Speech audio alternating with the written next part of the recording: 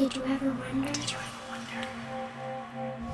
I do. Did you ever wonder why the sun always rises, but the stars never fall? Why dry land is never satisfied by water? And why fire never says enough? Enough. No, no, no, no, no, no, no, no, no, no, no, no, no, no, no, no,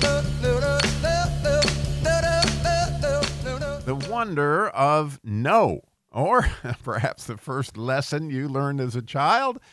Uh, and and the wonder of that whole idea, that concept uh, in Hebrew, uh, because you know thou shalt not. you know Adam certainly struggled with that, and uh, he had one thou shalt not, and we've got a lot more than that apparently. Um, there's a lot of that to understand, but it essentially could boil down to apart from me, you can do what? Nothing. And so that idea of nothing and the idea of not and the idea of no are very similarly spelled, actually, uh, or spelled exactly the same way in Hebrew, which is simply uh, lo, which would be a lamed and an aleph. And so I just had to ponder and ponder, like, what in the world would a lamed and an aleph be? And the reason I was pondering this is because I have been enjoying some time in the different rivers and, and you know as i have spent my prayer time I, I, jump in every morning to the pishon river to get that springtime feeling of falling in love and having my hope renewed and, and then i move over into the gihon where the summertime river and, and as i'm sitting in the in the gihon river uh, I, I realize that this is where I want to be with Jesus, want to be with Jesus, want to be with Jesus. But unfortunately, you know, fall comes and we end up in that Hiddekel River. And and when I get over there, all of a sudden the word no starts to appear. And and the reason it's it's lo is that when you start to do things apart from him, you do nothing. And so my struggle always is how do I get from that place in the morning where I, where the Lord always gives me, which is interesting. He had Moses go up on the mountain to meet with him early in the morning and how wonderful it must have been for Moses to spend 40 days, you know, up there and all that. But at some point in time, he had to come down the mountain, and even Moses, you know, struggled. And lo, apart from him, we could do nothing.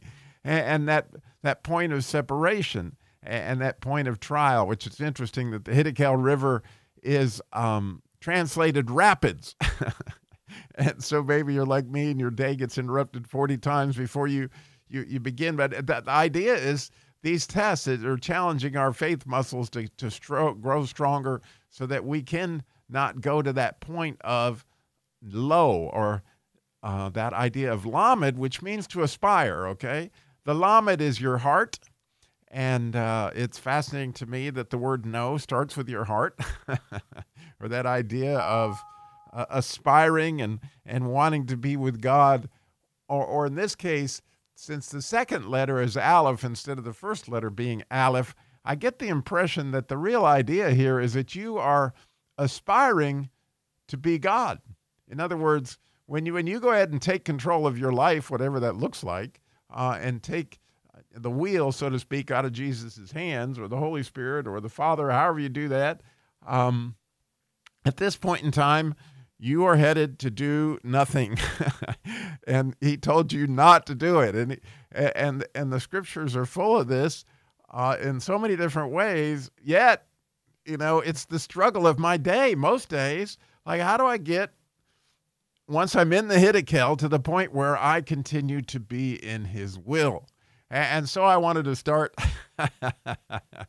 this episode with the idea of no no no no and in hopes that it would break into my head as I begin to go places I shouldn't go without God. It's a simple message, but apart from me, you can do nothing. And the idea of no was something we learned first thing as a child, and apparently I still am a child and need to know that I got to quit doing that stuff and, try to quit doing stuff in my own strength. Lamed Aleph. In other words, I am not the Aleph, and my heart does not need to long to be the Aleph. My heart needs to long to be in the arms of the Father. And as you get to be with the Father today, uh, I'm grateful for your listening. Thank you. No, no, no.